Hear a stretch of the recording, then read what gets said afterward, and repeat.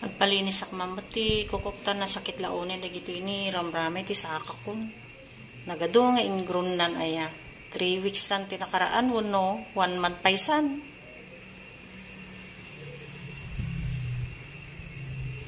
Baglaki din ta, ada ni Idol Divine, nga nagagat nga may exercise service.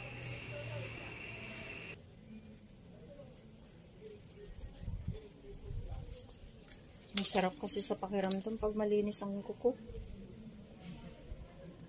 Three weeks siguro yan, no? Parang three weeks.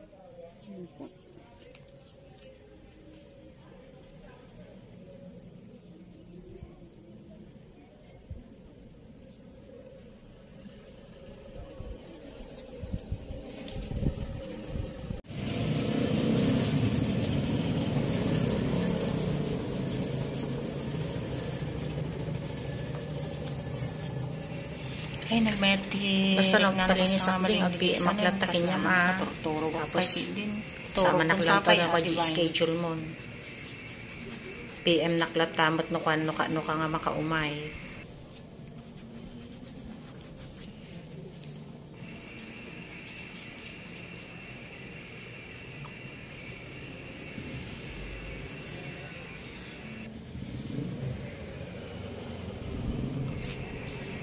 Mga gagayam kakabsat mamshis ito sa dipakulaw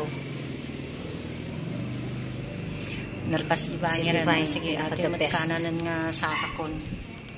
Mga 15 minutes lang siguro ay tana.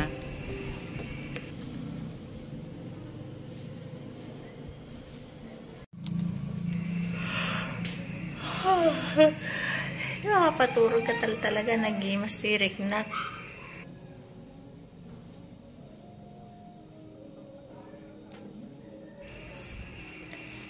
Nabilis ni Divine nga glinis pero pulido.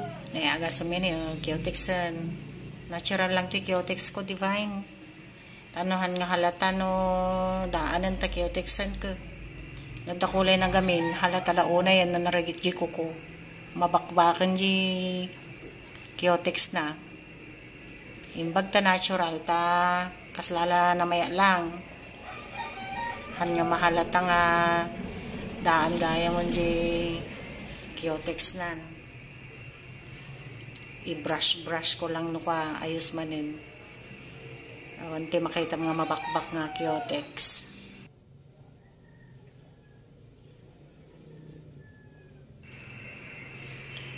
Basta ag PM aklat tanaw ka kanyang ding ano, Tsulala. palinisak man Mother ay wala.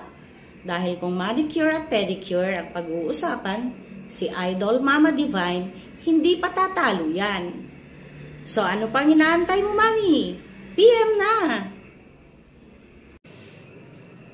Sa lahat ng aking mga viewers, ano pang inaantay nyo? Let's move forward. Subscribe na!